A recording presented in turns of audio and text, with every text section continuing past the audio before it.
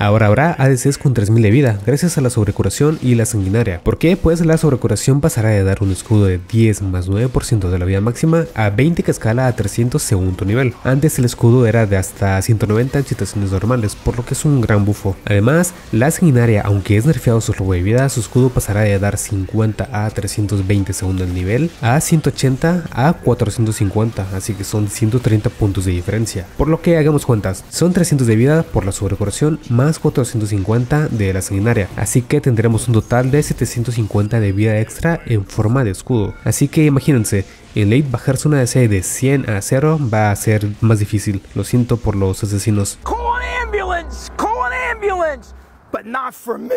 Pero, ¿qué pasa con los campeones que prefieren llevar concentración profunda de runa por el gran gasto de mana que tienen? Pues la mayoría de esos tiradores serán bufados en cuanto a su maná y escalados de maná con el nivel, por lo que pueden llegar a prescindir de concentración profunda, así que punto para los AS. Espada de rey arruinado hará 9% de la vida actual en lugar de 8. No parece tanto, pero un punto es un punto será muy útil para bajarse a sus tanques. Aún así, no vale la pena con Jin, dejen de armarse la arruinado con Jin. Y otro par de objetos importantes son el filo del infinito y las cuchillas de Nabori. Ahora necesitan solamente 40% de crítico para activar sus pasivas, por lo que comprarlas de segundo ítem ya no va a ser tan loco. O de primer ítem si vas con Johnny o Yasuo, porque su pasiva les da probabilidad de crítico extra, así porque sí, de gratis. Y otro campeón que lo puede comprar de primer ítem, pero más difícil de activar sería Tryndamere con su furia. Ahora vamos con los luchadores. Ellos son los que van a sufrir. A ellos les eliminan el Omniemprismo de la Hidra Voraz, Fauces de Malmortius y el Eclipse, así que sufran Minatrox y luchadores. Aún van a pegar y aguantar a lo maldito, pero no saben a curar, así que chales por ellos. Esos son los cambios más importantes del próximo parche. ¿Qué piensan de él? Escríbanlo aquí abajo en los comentarios.